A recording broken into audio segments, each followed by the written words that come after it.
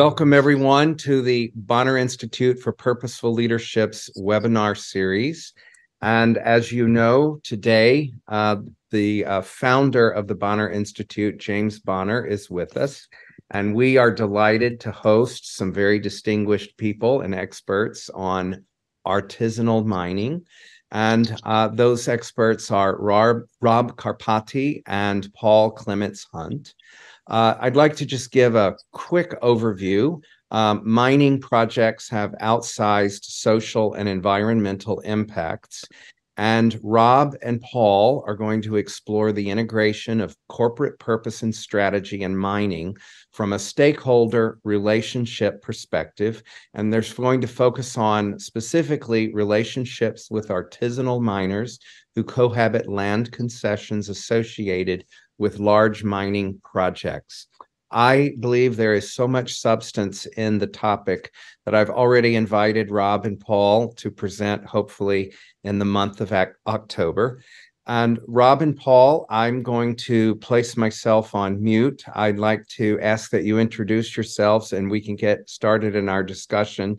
I will be an active participant, but I'm going to mute to prevent uh, background noise. We invite all participants at any time to submit questions via the chat feature, or uh, if you are so inclined, feel free to unmute and we just make it an interactive conversation. So, Rob and Paul, again, delighted to have you with us and uh, eager to hear your uh, introductions of yourselves.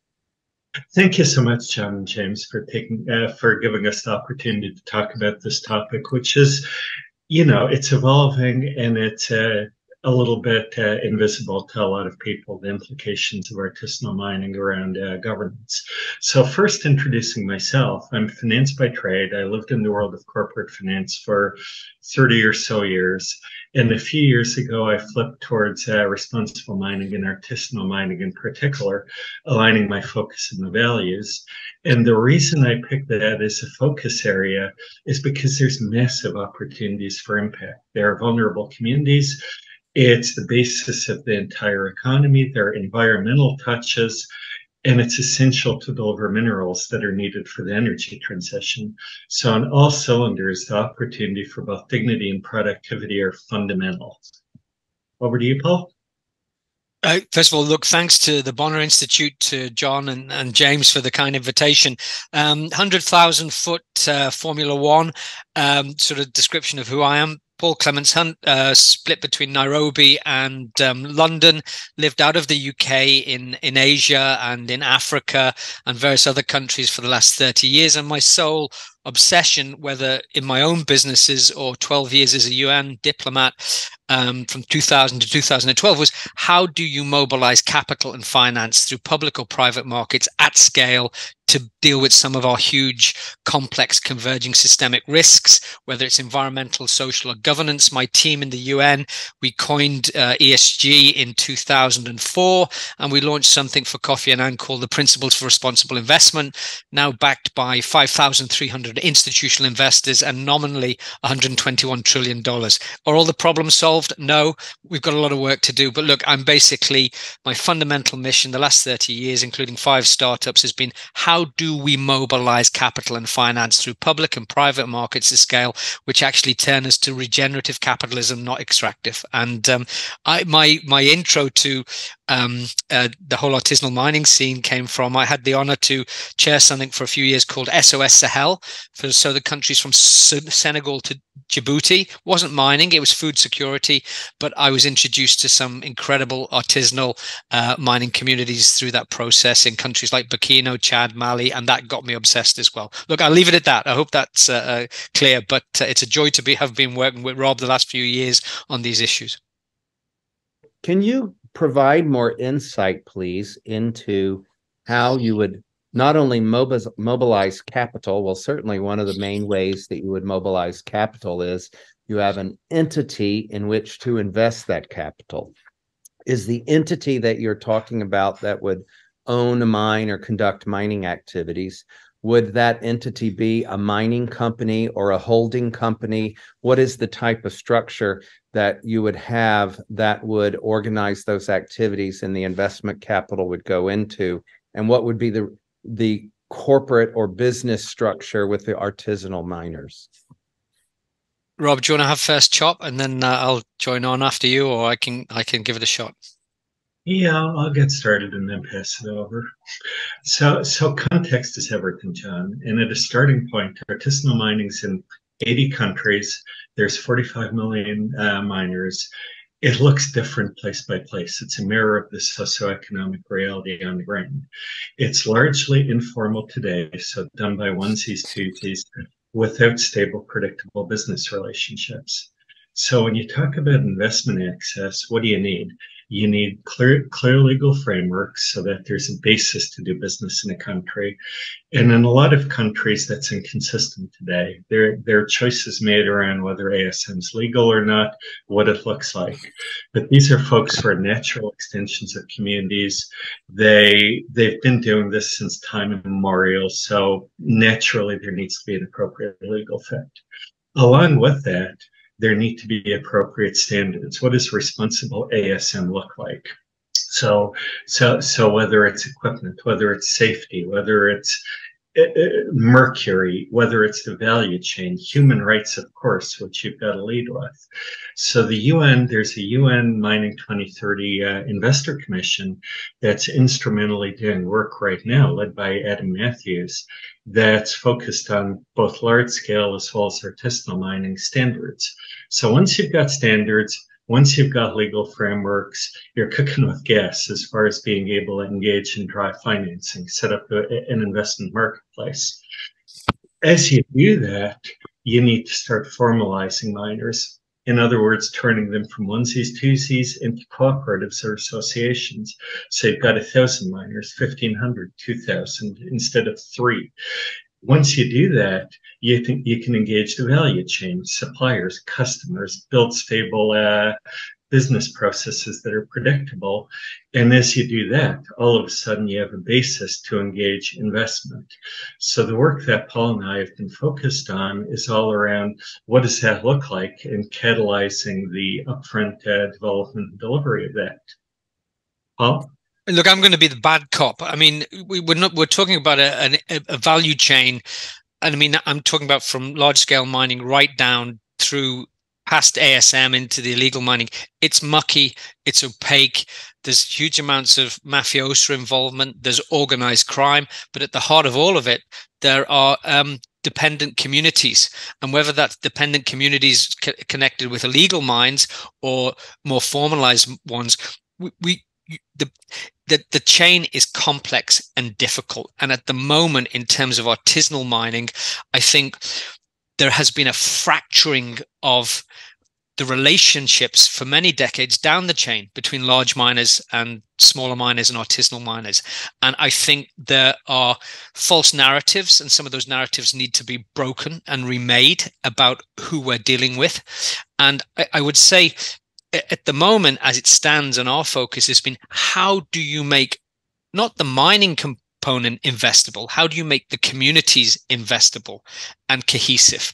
And you cannot differentiate, I don't think, the the families and dependents and the mining processes, whatever scale they are, you cannot deconnect them. It's all part of the same ecosystem. That makes it complex. Let me just finish that with one thought. Um, in terms of the 45 million miners and the 220 plus dependents, we know in the least developed countries, the least the, the 46, and whether this is in Africa, uh, whether it's in LATAM or it's in Asia, uh, or, or, other parts of the world, you you you've got families who exist on a sort of combination of yes, mining might be front and center, but they're also farmers and they're also fishing people and they also depend upon foraging and they depend upon forestry right?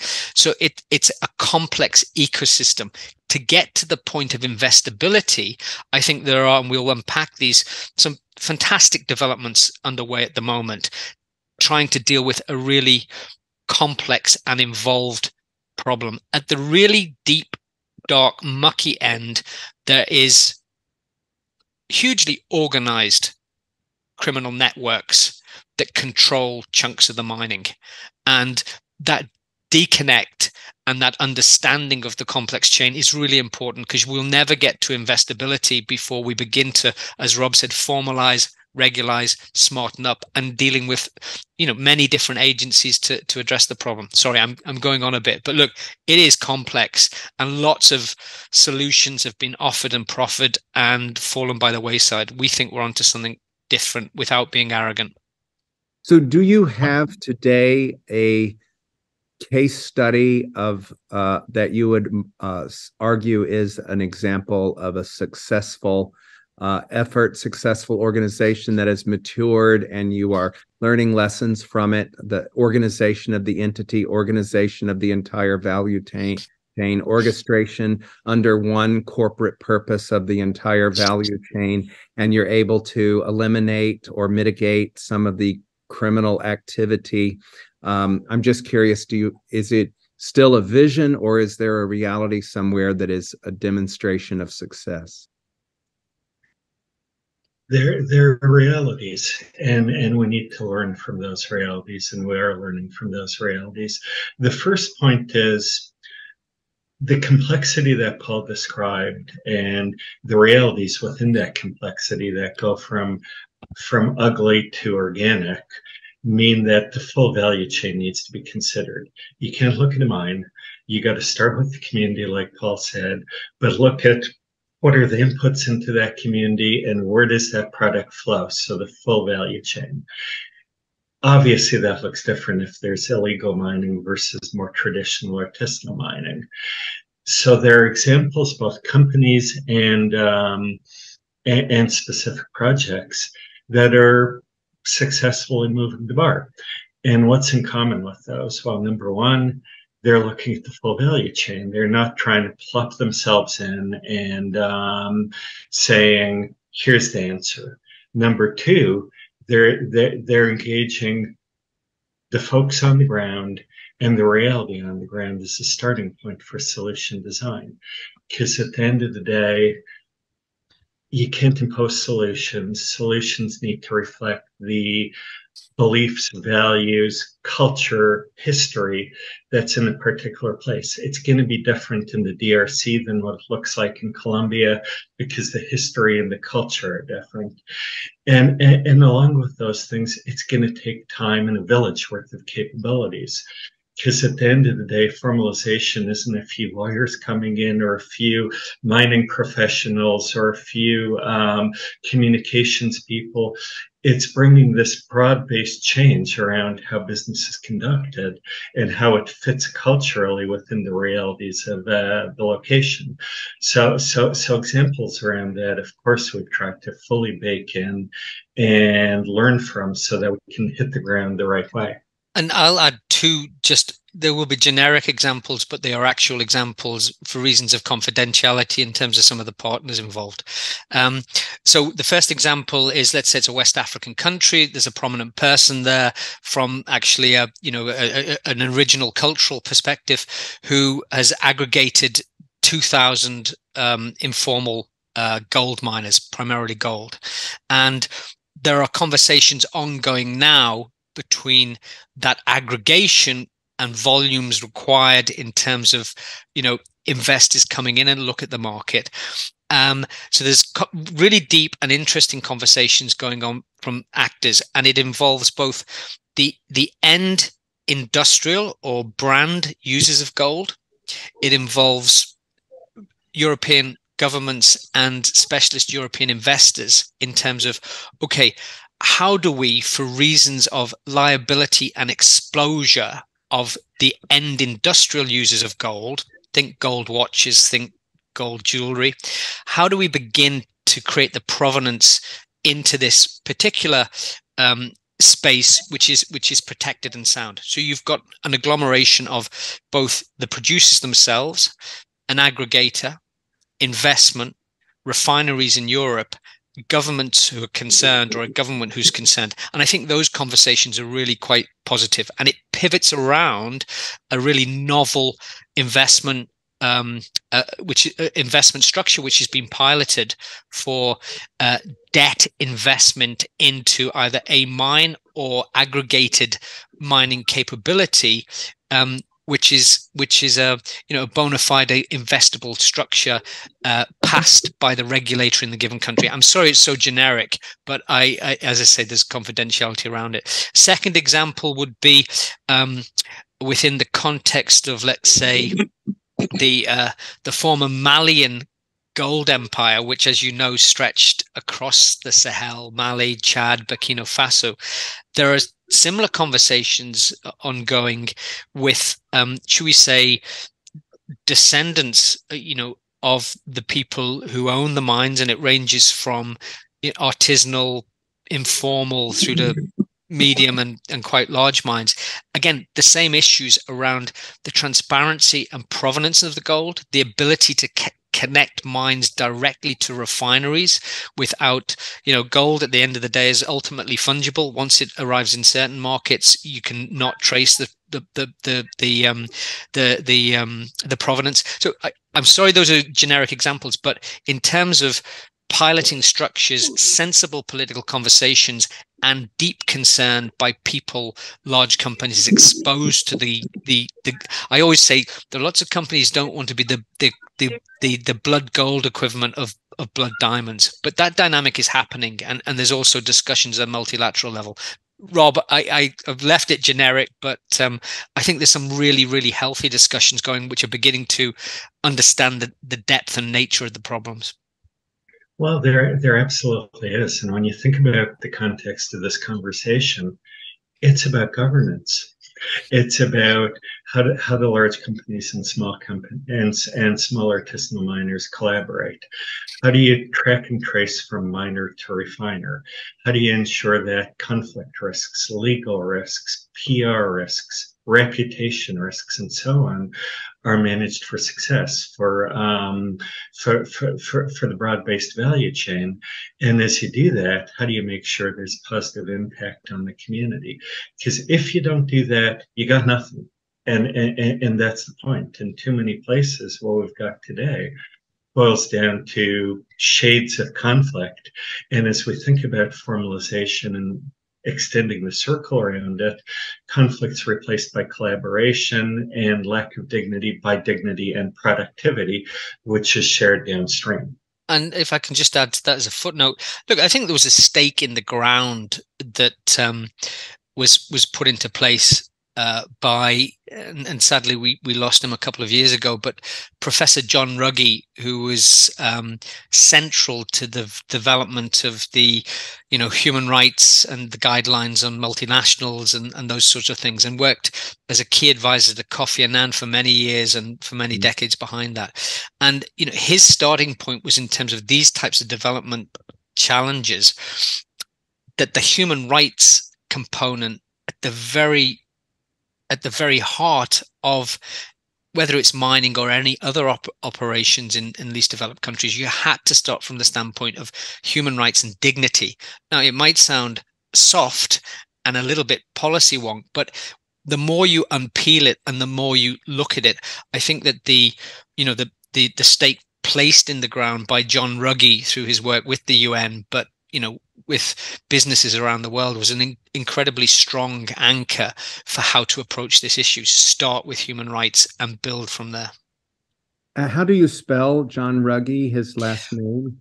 So it's professor john ruggie r-u-g-g-i-e and um, he was uh, as i say he was an advisor to uh, the late Secretary General Kofi Annan. John passed away, I, I think, a couple of years ago, and um, you know, but his work around the OECD guidelines was was remarkable. And uh, I was with him the night he got the human rights guidelines through the UN's Human Rights Commission. I think it was 2011, and uh, he was a very he was a very happy man that night. I don't want to get too involved in policy, but yes, that's such a, a, strong, a strong, a strong, uh, you know, stake in the ground. That's how I see it. So, how do you, um, when we're talking about aligning the value chain around a corporate purpose, uh, how do you make the corporate purpose front and center, and the corporate purpose would be guided by the values that uh, you have just referred to, human rights and human dignity?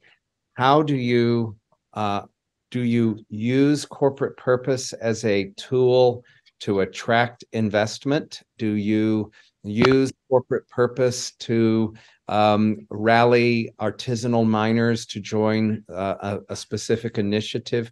What is the role of purpose in organizing and optimizing the value chain? And I'm thinking of the entire ecosystem uh, that would. So when we talk about corporate purpose, it's important to differentiate for a second large mining shops versus artisanal miners. Yeah. So so large mining shops, by definition, projects happen in remote, potentially underdeveloped places. Artisanal miners coexist on land concessions and they're extensions of communities. And communities have the potential to shut down the large project, full stop. We've mm-hmm. seen that. Like, look at La, La, Las Bambas or Tia Maria, the big projects in Peru, let's say, where mm-hmm. there's been conflict, including artisanal mining uh, related, that's led to uh, shut, shutdowns and active violence. So, at a starting point, it's about community engagement. It's about respect. It's about the flexibility to take time to understand, build solutions that make win-win sense. Artisanal miners are a subset of that because by definition, they're they're coexisting on the land concession. They came out of that community. So they can either be ignored or engaged. Mm-hmm. Ignored means conflict, it means legal risk and PR risk. Mm-hmm. Engaged means mutual value and productivity. So it's smart business and encapsulate what's smart in the context of purpose because it's also right makes a whole lot of sense. Mm-hmm. Then, in the context of artisanal miners itself, well, there are no pre-existing corporations. These these folks are onesies, twosies on the ground. They're they're at the bottom of economic hierarchies in most countries. But the active organization needs to be principles driven, and those principles are all around, like Paul said, lead with human rights driven towards dignity, driven towards productivity, driven towards approaches that make sense all up and down the, the, the, value chain. So you combine those two things, the, the, the, the smart and the right at the large company level and the principles that apply at an ASM level. And you've got the groundwork for a common conversation that's geared towards mutual value and collaboration. So I'm going to ask some questions that I think you might be surprised to receive. So let's go through a hypothetical situation. I, I actually, my grandfather uh, was a miner, but uh, he not a miner. He owned mineral rights. He he would actually. Uh, it was in the Depression in the United States, and he would um, obtain mineral rights in exchange for a service. He had no interest in owning the land. He wanted mineral rights, and he amassed a, a very large uh, collection of mineral rights.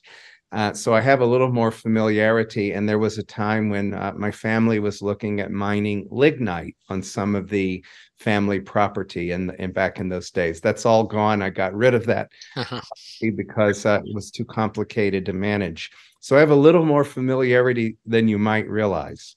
So let's say that I came to you with capital and I said, Rob and Pete, I'm interested in starting an entity uh, that will um, partner with large miners, but I have a new tech, new technology that I can get more value out of artisanal miners uh, than legacy large mining corporations.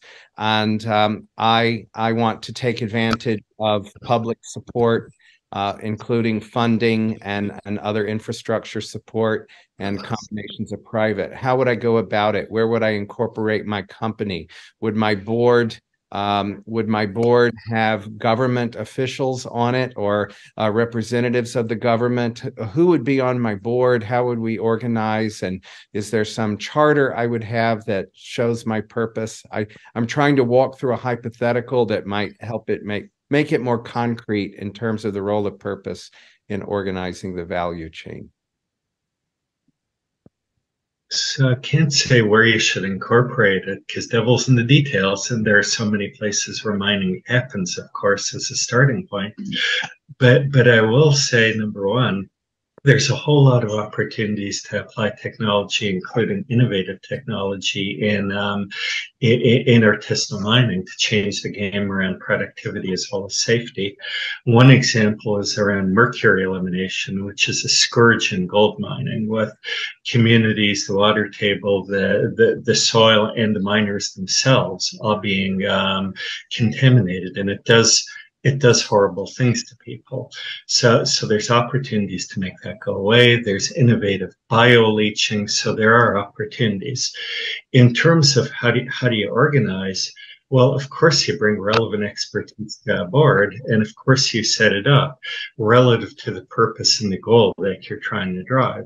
So, if if we're talking about innovative technologies around artisanal mining, then do you need do, do, do you need experts around the technology, or around responsible mining, or around the geopolitical or legal implications of that? Well, Probably, yes. So, so, so, so, so the board gets formed accordingly, and just like any other business, it starts to function based on the mix of uh, capabilities that it needs. Paul. Yeah, look, it's an incredibly challenging question. Um, so I would unpick it in this way. Um, so you're coming with a technology, you want to make return, you perhaps want to improve the social and environmental con- conditions around the operation. Yeah, that's clear. I, I think one of the things here is that the the point of purpose in some ways in that context you need to start at the very end of the chain and ask the question what value do we want to leave behind okay mm. so as a, a mining entity that is in the game for profit and setting up wherever you set up, whatever structure makes sense. The best insurance I think you can buy is by ensuring there is proper value creation embedded in the mining community. And that has so often not been the, the point in the past. I think traditionally, and certainly for the last, I don't know, X many decades, you know, if you take take big mining entities. Yes, there's some good deeds and there's good examples and there's good case studies, but we so often look down the value chain to manage risk, right? So whether you're headquartered in in Johannesburg or New York or you're listed in Toronto, that instinct is to look down the value chain. The best insurance you can buy as a new entity is start at the very end point of the value chain and look up it. And I think that's the difference between look, I'm I'm not criticizing extractive capitalism. That's we've had that model for 250 years. It's benefited huge numbers of people, but a very small fraction of humanity. We need to transition from extractive to regenerative. Part of the regenerative is that you look after the originators of the community. And I think that's where the multinational instinct has so often failed in the past. It's mm. your best possible insurance is buying in the community by leaving value behind and it's not just income. It is it's you know it's the sanitation it's the lighting it's the basic services edu- education and it's not as a showcase example which goes away after the mine's closed because mines are finite. It mm-hmm. is actually part of the fabric of the community. And look just maybe as a, a really direct example. So a gems miner out of nairobi who i know um, lebanese gentleman who's had uh, a mine up near the Ugandan border, both for gems and gold for 30, 40 years. Without any of the jargon of ESG or sustainability, he, he put it on a plate, said, look, once you lose the community and you're not leaving the value behind, you've lost the mine effectively and you'll get conflict. His biggest concern in terms of his mining operation was the, the new Ugandan find where they reckon, I don't know, they say $13 trillion of gold. His vein abuts that on the Ugandan border.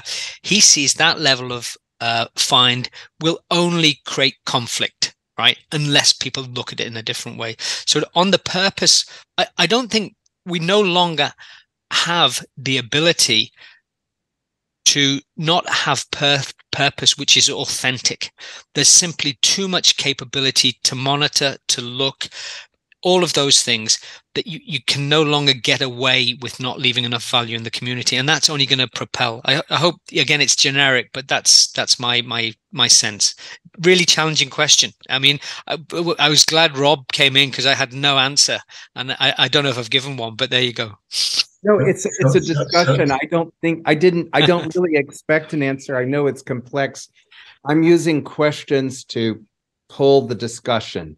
So it's not, a, it's not, a, got you question. It's you know, a, listen, I, I, keep them coming because it makes it much more interesting discussion. You know that. Um, Rob knows that, and James. And plus, for our audience and the people who will watch the recording, because uh, a lot of people are are not able to attend live. Mm-hmm. Yeah, got you. So I'm going to say what Paul just said a, a second ago is the fundamental point around uh, purpose in mining. Because I've, I've had a number of people tell me, well, what does regenerative mean in the context of mining when you're literally extracting something from the ground? And so, yeah, fair enough. You're not going to regenerate that cobalt that you're you're digging out of the ground. However, what regenerative means is that you're going to collaborate with the community, take a community centric approach, and generate long term sustainable win win value. So, that, and what he said is fundamentally the point that we're getting at. You've either got win win value or in the fullness of time, you've got lose lose uh, conflict. Mm-hmm, mm-hmm.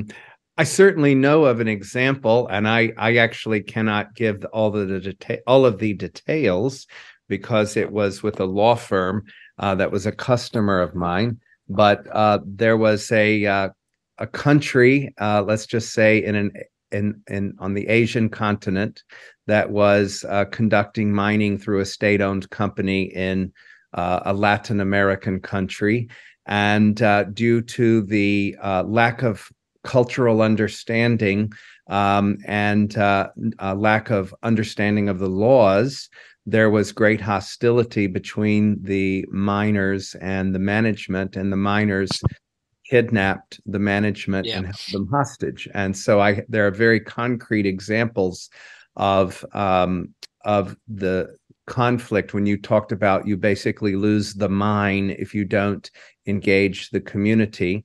And um, I, am curious also. Let's say that I am a customer of a of um, the fruits of mining. So we've talked about gold and cobalt. I can think of many other minerals uh, that would be of interest, but let's just use gold or cobalt. So there's a supply chain for gold, you know, acquiring it, processing it, and productizing it in jewelry. Um, to what extent does the regenerative intent and uh, purpose for the community affect the value, uh, all parts of the value chain. Uh, for example, if I go buy gold jewelry or I buy a product that, uh, you know, technology product that requires gold, uh, you know, do do the end users and customers care about what happens with the artisanal mining community? Uh, is purpose is the entire value chain so connected that um, the end user or end consumer uh, is going to make consumption decisions, or does that not play a role? It's changing. So, mm-hmm. so first, before before addressing the question, you mentioned the person who was kidnapped in the community conflict because of cross cultural understanding. That's, That's all too common. And one of the disciplines that we're talking about that's baked in strategically based on a purpose is to engage a culture on its own terms, acknowledge history on its own terms, mm-hmm. engage people on their own terms, and that takes time and effort to develop, and it's it's sorely lacking sometimes. Now, going to your actual question, mm-hmm. um, it, it's evolving. We live in a world of social media. The truth is out, and what what, what happens when it's positive ends up on Facebook. What happens when it's negative ends up. Guess what? On Facebook. So reputational risks are very real. and along with reputational risks, there there there are business risks because where there's conflict, there isn't stable supply or stable price. So by definition, whether you're a, a watchmaker using gold or the Ford Motor Company using nickel, you you you could be stopped in your tracks because you don't have the mineral you need to uh, build the product that you want to be that you want built. So there is an understanding, which is very important, that's emergent, that there's huge reputational risk that comes with all of this. Because at the end of the day, if you're if you're an OEM or if you're a cell phone maker or if you're a jeweler, let's say, use, putting gold that included slave labor and its mining in your watch, and the truth outs around that, well, the people are paying five or ten or fifteen thousand dollars for that top end watch mm-hmm. aren't going to feel good about that. So that can impact your brand. That can impact your long term viability as a business, which which which is a shift from the past. Because in the past there wasn't a massive likelihood that the truth will be out. As that becomes more likely, it's it, it's gotten there. Paul. Yeah, look, three let me call them tabloid points jumping across different minerals um, and, and some a little bit anecdotal. Uh, so there's a, a, a, smallest jewelry operation in Amsterdam, which I think has been in place for 30 years. And the uh, the sign on the shop door is um, from the mine to your finger, right? And um, and interestingly, my son who who's in Amsterdam, you know, went and had a chat, and he was really impressed with the i think it's a family business but how seriously they genuinely took over that 30 years you know knowing the mines that it came from. That that's just a bit of color. I think the second point that i'd want to make is that it's to re- reiterate uh, rob's point is that the the the ability to to blow a brand which is hugely valuable okay? Um, and let's let's think about maybe some of the swiss watch brands um, let's think about some of the ultra high net worth luxury goods where prestige and provenance is everything. Uh, I was in a meeting last week where um, someone from someone really, really clever and articulate with De Beers said that um, future luxury is transparency, right? Mm-hmm. So let me connect the dots. The um, we know, I think, and Rob will correct me if I'm wrong, but at some point, in some way, shape, or form, whether it's physically or transactionally, 70% of the world's gold supply goes through Switzerland. Now, that's whether it's on a trading platform or it's physical. And I think 2022, it's 4,750 tons of gold was produced of that 20% artisanal miners. Okay. Now, the, the ability going forward for the the various brands, the Rolexes, the Chopard, the Breguet, all of that, to connect themselves to, let's call it new gold, where the provenance is clean. And that's going to be really difficult. That is on, on the liability side to get that wrong that's huge. Mm-hmm. On the mm-hmm. plus side, to be able to differentiate yourself as a brand, that's even bigger because, um, again, the same person from De Beers made the point, which was really interesting. That's on the diamond side, obviously, was that, you know, big expenditure on luxury goods is not only by the ultra high net worth and high net worth. It can be special events in people's families. It can be the grandparents saving up, you know, who've who've got enough and they want a special event. So I think to reiterate, it's not going to be solved overnight, but because of that, the level of connectivity and the level of understanding and also the distrust of the next generation if you were born in 2000 you're now 22 or 23 and you know you've you've been through the global financial crash you've got climate change you've got pandemics what, why do you trust people? And I think we're going to see a decade of authenticity and more. I would hope that. And that relates to what you put on your body or on your finger or how you think about the provenance. And look, it's a bit touchy feely psycho, psycho babble, but I, I, believe that's true. The third point for me, in terms of um, the the the the the, the mining value chain, and this is a question rather than answering it, is people in multinationals in terms of the level of return you expect, in terms of the level of C-suite privilege, and I'm a card carrying capitalist. Is there a point that, in terms of leaving more value behind in the value chain, do we have to expect less in the G7 and the G20 and the developed countries? Do we have to expect less in terms of reward? The inequality now is so manifest and transparent um, and let me finish this off before I, I go on too long. Look, I, have just come back from 10 days embedded with the Brazilian Federal Police, and I mean embedded. We were mm-hmm. looking at illegal mining, human trafficking, sex trafficking, um, deforestation, and illegal use of land. That's what we were looking at. Brazilian Federal Police, incredible. At the heart of their model now it's not just about prosecution. It's about the fact that they at the top see social inequality as the is the spark that lights the blue touch paper for any of the crimes above right? So I, I think the point there is massive shifts in terms of trust in terms of authenticity and brands are exposed. You don't want to be on the wrong side of that.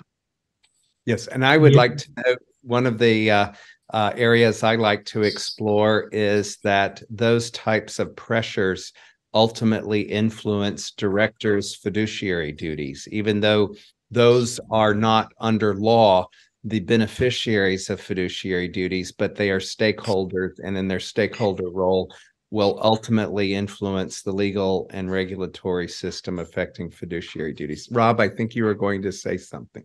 So. Yeah, I was just going to add a thought to uh, what Paul said. And so, transparency is it a human right? Arguably.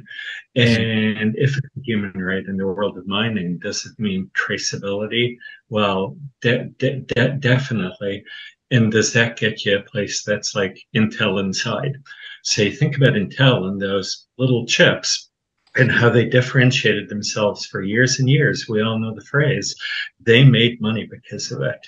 So, in the context of transparency, which is a human right, is there an equivalent responsible inside if you're Chopard or Rolex? And if responsible inside makes you more money because it lowers your risk and it improves your market attractiveness, then there's a value proposition that's commercially logical that goes along with that. And that's something that maybe day to day at a C-suite level isn't isn't the crisis of the day conversation.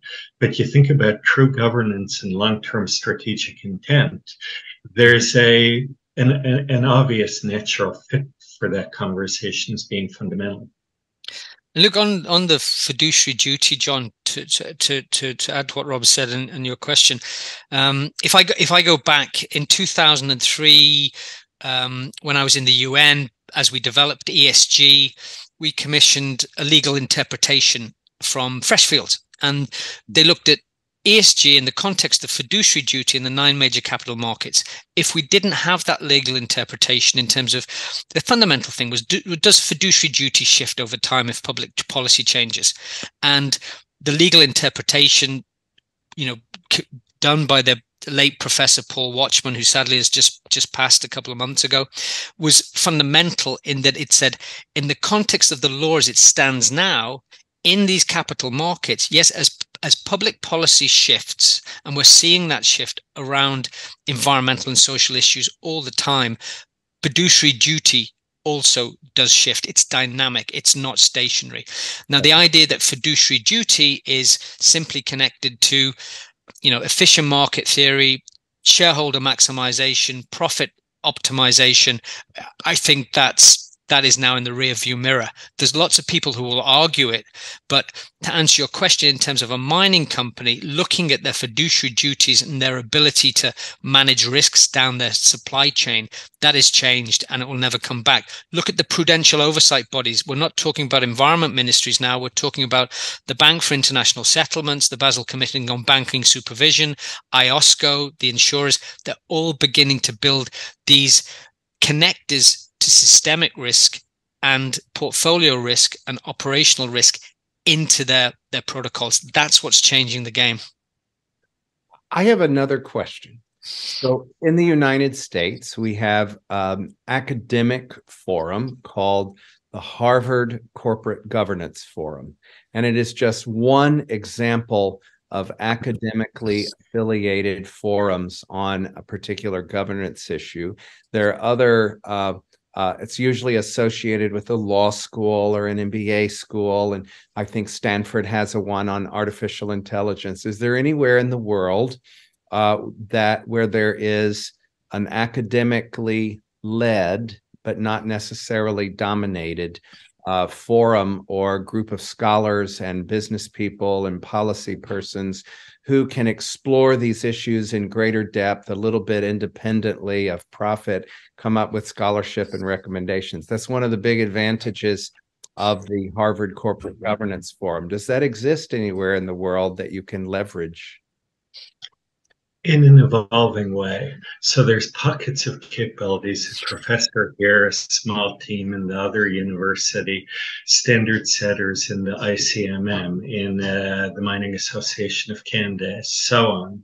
Eh, but but but there isn't an overarching equivalent to the Harvard Business School, let's say, that brings it all together, and that's something that will change because the industry itself is changing and there's a realization that there needs to be a broad-based academic theoretical focus mm-hmm. on what does regenerative approaches look like over the course of time so so to me that's a positive that at least people are talking about it as a first step towards solving the problem Look, I would add uh, the the sort of the, the, the obvious two in the UK sense are Cambridge and Oxford. If you look at the um, Cambridge Institute for Sustainability Leadership, which Dame Polly Courtice ran for decades. If you look at what's happening in um, in the Oxford context in terms of looking at sustainability, looking at specifics of ESG from a governance standpoint, I think there's some brilliant work underway. And I, you know, I'm not UK biased. I think there's other pods of leadership in in uni- universities also outside of the um, um, you know the G7 and the OECD countries. I think I think there's really interesting work going on. We just might not have you know heard about it, but that focus is is um, the, the governance. The governance piece is fundamental to everything. We know that, and um, I think there's a, a revolution in governance thinking, and it's both at the systemic level, capital market, and the operational level, and and that's about the the, the shift to you know the regenerative form of capitalism. Yes, and I would like to note in our remaining 10 minutes, uh, we have a guest, Felix Bracco. And uh, Felix, if you have any comments or questions, please feel free to use our chat feature or unmute. We would love to hear your thoughts. Uh, in the in the meantime, I would just like to note uh, you might consider starting a partnership with uh, a law school or an MBA school or a mining uh, a school that an engineering school uh, where that can bring uh, the business community, government policy experts, the legal experts, and actual uh, business people, and bring them together where they can discuss issues in a neutral forum uh, f- to prepare for the future. It could be focused on regenerative governance and commerce, or it could be focused on mining. I, I have another question. Uh, I have visited several countries. Uh, I usually meet with the legal community or I will lecture at a law school. Uh, and I, I visited several countries that are former colonial possessions. And, um, and one of the things they observe is that today they believe they are being, and I'm not going to name the countries, but um, uh, they, I have visited with uh, some very high level people, and they believe that they are being recolonized, but this time by corporations. And uh, the uh, multinationals essentially pay off government uh, to uh, supply a labor force.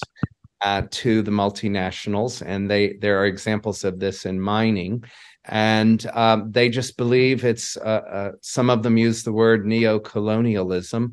And um, i just wonder if if you are able to address this dynamic. This the country in in particular that i visited spent one month in uh, has a lot of mining of gems for the jewelry industry. It, it it's real.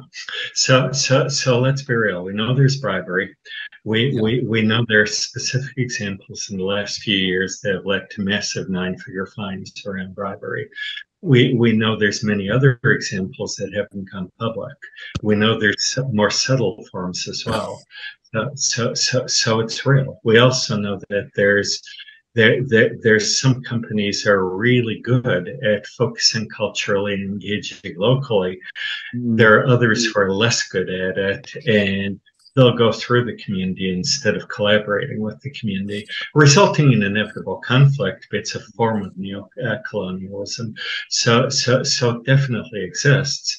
Mm-hmm. And when you think about artisanal mining in particular, there's also, in some cases, a bit of a white savior mentality where you know I, I am from the west and i'm here to help because i know better and i mean I, I am from the west and I'm a, I'm a white male but i don't know better is, is is my first comment and the reason i don't know better is it starts with the local culture so both of those things are real but again with enhanced transparency the and, and the need to grow uh, tonnage exponentially given the, the energy transition. It's changing. I, I think there's a contextual piece which is sort of is the last 40 years just which is in in a period where we've seen deregulation liberalization free trade and actually more importantly than anything else is the financialization of the world the the ability for money to cross borders from powerful institutions and a lack of a new governance model uh, and doesn't have to be a controlling model but a, a governance model in terms of um, you know looking at that and understanding the flows and actually providing the appropriate governance at the multilateral or the regional or the state level. I think that plays into it. So it's it's it's not necessarily malfeasance. It's just the evolution of fast flow capital without an effective governance model around it. Let, let me land that with one example. So, um, in northern Brazil, there's a, I'm going to get the pronunciation wrong, but there's a, a city called uh, Alto Tumcan, which is at the epicenter of the uh, illegal gold mining, uh, which is going on in and around the Amazon. And that really took off in 2013. Now, there is both organized crime. The Brazilian Federal Police receive 59,000 illegal mining alerts a year right? And that's now connected to a very sophisticated satellite system. Okay, fine. That's the picture. Some of the money behind that illegal gold mining is not organized crime.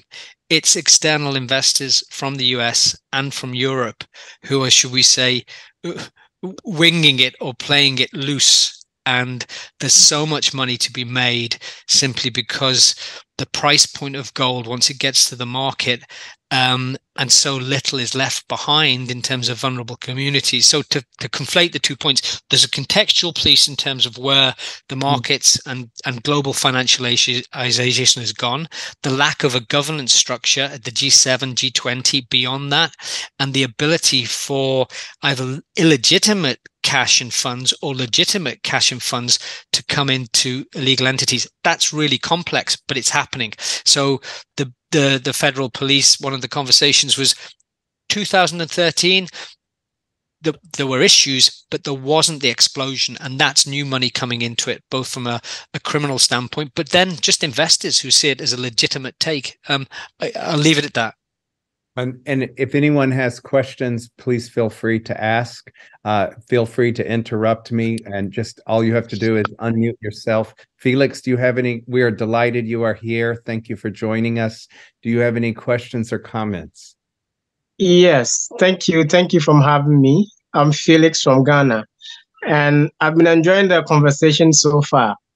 What really resonates with me is something uh, Rob said what usually initiatives coming in and they don't try to understand what the miners are going through. It's like, hey, I'm here. I know better. And with the respect bit too. So I think with uh, proper integration of ASM we really have to know what they are going through. We really have to understand their their concerns before we we come into uh, let's say we are the Calvary, we are here to save. So I, I, I'm I'm very delighted with the conversation so far. Thank you. Thank you, Felix. I appreciate it. So, yes. Felix, uh, do you have any uh, good uh, examples of successes in your country in the mining context where companies are um, fulfilling the goals you've just expressed? So, what you usually have is there seems to be a, a, a dichotomy between the ASM and then the last scale miners. It's like the last scale miners really don't want to have anything to do with the ASM. And mm. then when you come to the artisanal miners too, the issue of even licensing, because there will be a license will be given at the capital, and yet the where the mining is going to be done, less engagement is done. So they are there, and then people just come. We have the license to mine here, and repeatedly, it's it's become a problem. There are initiatives going on. So uh, somewhere last year, the government uh, supplied some uh, gold uh, machines, what they call the gold catcher, trying to eliminate or reduce mercury use. And it, it's kind of hit a snag because it, it's not a technology they really like to use. So you ask yourself, really what went into it?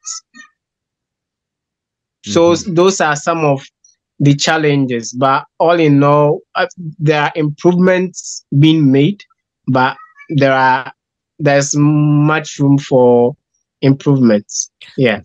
Felix, I've just uh, I've just followed you on LinkedIn, so it's nice to be in touch. But your thank you, your, thank your, you.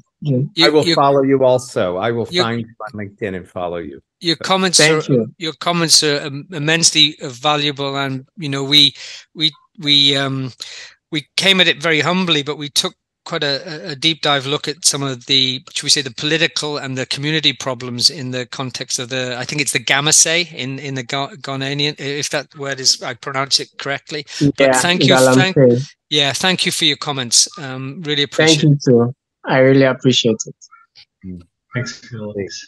I just sent you an invite to connect, Felix, on LinkedIn. Okay, thank you. I would accept.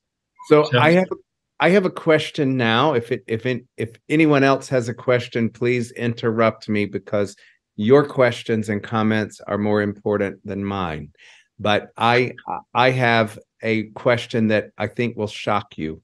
But uh, there's a former CIA analyst. I who's uh, he publishes uh, a lot of content, some of which covers mining. Not only that, but um, very famous. And one of the observations he made is that due to the complexity of regulation in uh, on the planet Earth and due to all of the environmental concerns, uh, the one of the motivations for commercial space exploration is to replace mining on the Earth with mining in space. And of course, the the economics don't work out yet, but it does look like um, uh, the economics over time will change, at least for some of the highest value uh, mining products. Of course, I'm I'm not familiar with them, so please know I'm only repeating what I've read and listened to and studied. I don't understand it, but I'm curious. Uh, do you hear any efforts uh, to explore this, or is this unrealistic and it's a dream and not realistic at all? John, let me jump in first, simply because one of my um, was originally an intern in the UN. This was 20 plus years ago. The gentleman Jacob Malthouse, who absolutely brilliant, brilliant mind uh, in his early 20s. He was one of the key team behind ESG and these principles. He's now the executive director of the Open Lunar Society out of Washington. And um, so he's familiarized myself with the importance of governance in space. Yes. And um, and I, th- I think, you know, the sooner we start that conversation in a meaningful way, which they have, and I know there's various bodies doing it, but I, I think you're absolutely right. It's not that it might be far off technically, but it's not that far off in the the mind of people who think there's money to be made, uh, you know, in space. And we shouldn't just because space is big, we shouldn't make the same problems we've made in uh, in uh, on the Earth. I, so look, it's a flippant comment, but I, yeah. I, am certainly aware of those issues, and, and Jacob's work is just first rate. Uh, Rob, over to you to make some sense. Yeah, yeah, no, I mean exactly. It, it's the f- the future is coming, and now's the time to think about what does uh, governance in that context look like, even e- even though it won't be this decade. There's also conversations around seabed mining and what are the risks and opportunities there. And again, there's potentially catastrophic environmental and uh, ecological uh, risks. So, so eyes need to be wide open if and as that's approached. But, but, but, but in the meantime, we need to think about multiple time horizons and engaging appropriately today where where stake where obviously mining is about geology and engineering at a certain level but but communities and broader stakeholders are king because they can make or break projects and artisanal miners are fundamental to uh, that picture. So e- even as we get more robust there we've got to think about the future. John can i add a point just very briefly? yes, look my i i guess my sort of journey into environmentalism started back in the the or sustainability back in the late 80s uh, and it was through the lens of something called the uh, the Antarctic Treaty which mm-hmm. was formed between 30, 39 nations in 1959 in the year of uh, uh, geophysics and why I'm saying that was between 89 and 91 they uh, negotiated the Antarctic environmental protection regime and that was a closed diplomatic process. All of the seven sisters, the big fossil fuel companies, were there present. I was at eight, each of the negotiations, um, and um, you know, so Antarctica is protected until 2042. Mm-hmm. Um, when the treaty, the Environmental Protection Protocol, is up for renewal, 42 to 48. If we're in a position where we're arguing over mineral rights, fossil fuels, and coal, which there's a fair bet is under Antarctica, we have really distinct problems. So that's that's a firm date in the diary. That if uh, you know if um, if if God is willing, I'd love to get to 2042 to uh, to be back in that va- battle 50 50 years on after the original treaty was confirmed. Uh, and it is all about minerals, and you know we do not want to be there as a planet. Well, I've certainly heard some people. I've heard I've heard some people say um, indeed, uh, we're looking forward to the glaciers melting because that will make it much cheaper to do the mining we want to do as well as the transportation. So that uh, that notion does exist yeah. uh, for sure. Felix, I think you have a comment or question. Yes, I, I think once there's money to be made, uh, we we need to start that conversation now, yes. because like uh, John said, now we are we are looking at going to get some fossil fuels. So whatever be the case, people will look at going to mine in space. So I think that conversation has to start now. And then we look at the shortcomings or the mistakes we've done here on Earth so we don't repeat it once we go up there. So that conversation has to start now. Yeah. Mm-hmm. Thank you, Felix, very much. Um, well, we've reached the it's time to start winding down. We've actually gone a little over time, and I thank everyone for staying with us. It's been a very enriching conversation. I would like to invite uh, Rob and Paul to come back and uh, engage again go deeper into the topic and we can go out uh, at a later date organize that and have a meeting to organize the topics. Are there any remaining questions? Are there issues or that questions you wish i had asked or issues that uh, anyone thinks i should have raised but did not or any other final thoughts or comments before we sign off? Maybe just the last word, and then I'll pass it over to Paul. Um, so obviously, at a basic level, mining is about geology and engineering. Ore bodies are king, but the real kings are communities because mm-hmm. they can make or break uh, the project. Full stop. Mm-hmm. So, so, so what we're talking about here: engagement with communities, engagement with uh, artisanal miners that share land concessions, engagement with indigenous nations, and incidentally, 54% of critical mineral projects are on indigenous lands is fundamental to the future of the industry, figuring that out. It's about dignity, it's about productivity, it's about value at, at, the last mile all the way through to uh, the value cha- all the way down the value chain. And transparency is going to be a key enabler to that like we said. So the more we think in those terms the uh, more effective i believe we're going to be at driving the fundamental change that's now in progress mm-hmm. and, and john from from my standpoint rob rob and myself and and some other you know genuine um, and deep ex- expertise and experience uh, have been invited to the United Nations World Investment Forum. That's the UNCTAD event in Abu Dhabi, October 18th, 21st, where we're doing a, a session on strategic minerals.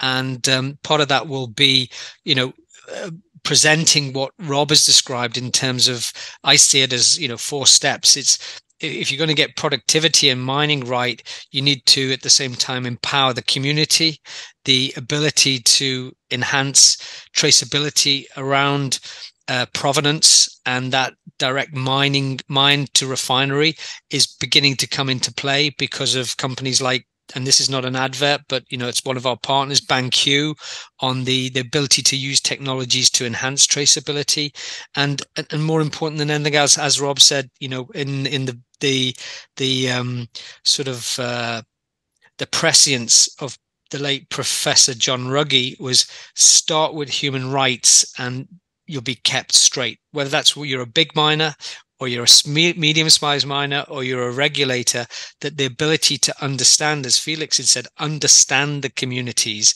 and build out from there. Mm. Don't just go down the value chain and tick risk boxes. Actually make make value creation part of your business model. Mm-hmm.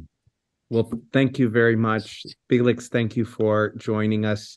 I look forward to the next time. It's time to co- conclude our webinar today, but I've so enjoyed it and I have a many, many questions and issues I hope to explore in the future. Thank you very much, Rob and Paul, for your time. Yeah. John, not a not a problem. It was a delight to join the Bonar Institute. Thank you very much indeed.